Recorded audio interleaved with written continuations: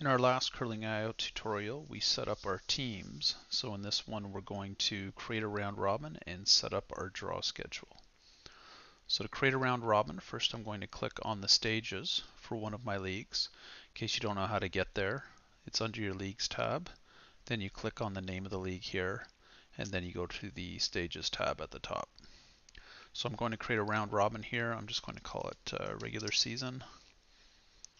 I'm going to have one iteration. This is just how many times each team will play each other team. So how many times round robin is going to keep going round. For ranking method, I'm just going to stick with the default. Um, if you don't do ties, then you can set this to zero and then just points per win to one, for example. Um, you also have different ranking methods like skins and scores.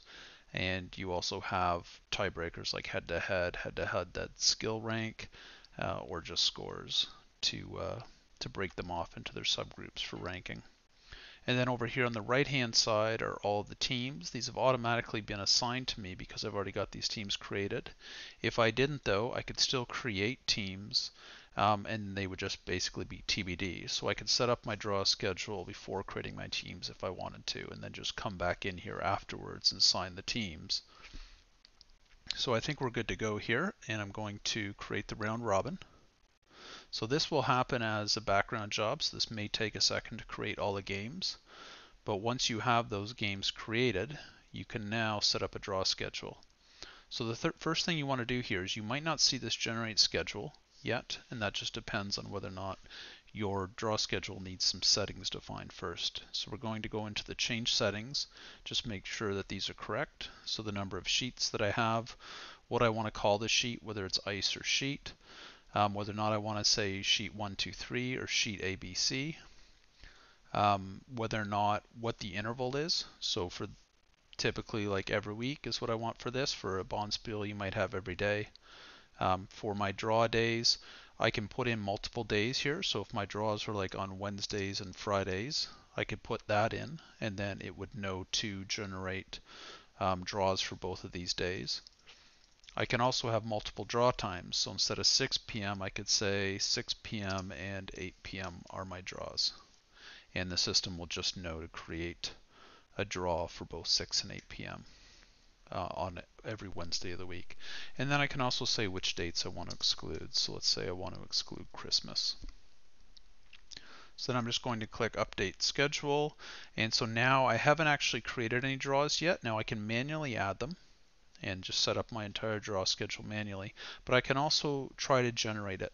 Now generating the schedule is not perfect. It's something that will be improved over time, um, but it's a good place to get you started right now.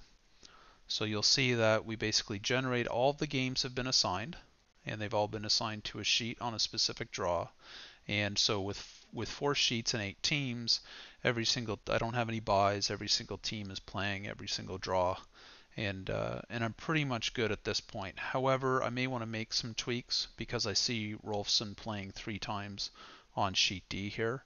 Um, so I may want to move him somewhere else. So what I can do is just basically delete this row or reset this row and I looks like he hasn't played on sheet B yet so I'm going to go ahead and assign him here and then I'm going to take a look at so Hessel's played quite a bit here I'm going to go with Metz versus Manti.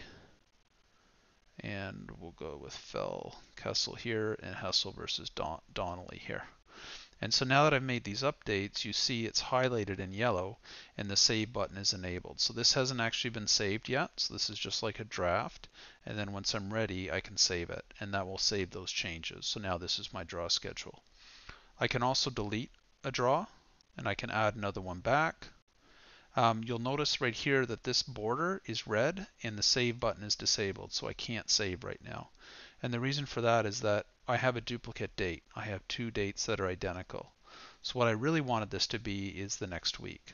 It's going to be on February 12th at 6 p.m. So once I fix that, it's now yellow and I can save it again.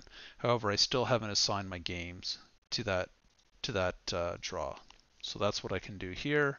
So we're going to do the games that are still left over and the system will automatically know which games that need to be assigned and it won't um, it won't you won't ever have the same team playing on the same on the same draw otherwise you will see um, an error pop up if you try to do that.